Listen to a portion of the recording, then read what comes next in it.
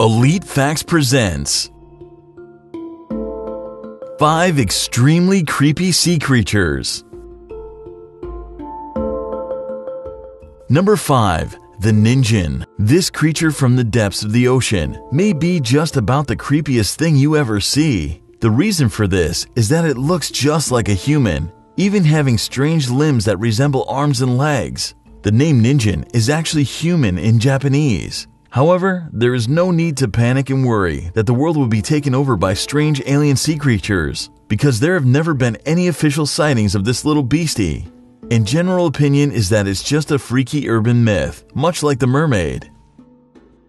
Number 4. Mantis Shrimp This rainbow-hued little creature is not as nice as it looks. It's actually extremely clever and horribly dangerous. One of its main talents is being able to see colors that far surpass even the furthest imagination of humans. As well as, it's an efficient killing machine. It has two appendages at the front of its body, which can lash out so powerfully that they cause the water surrounding the creature to reach boiling point. So even the clever prey that have managed to avoid the physical attack will be rendered defenseless by the boiling water.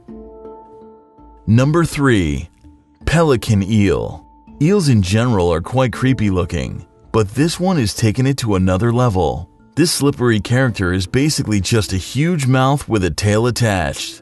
The mouth itself is absolutely terrifying. It unhinges so its owner can catch prey that is twice its size. The chosen prey is then stored in a pouch within the lower jaw. However, the tail can be just as weird, as it possesses a small light producing organ that is called a photophore and gives off an eerie pink glow.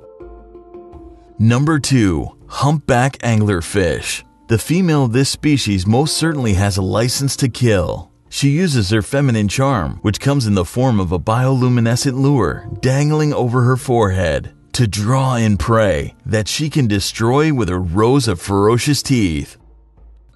Number 1. Predatory Tunicate.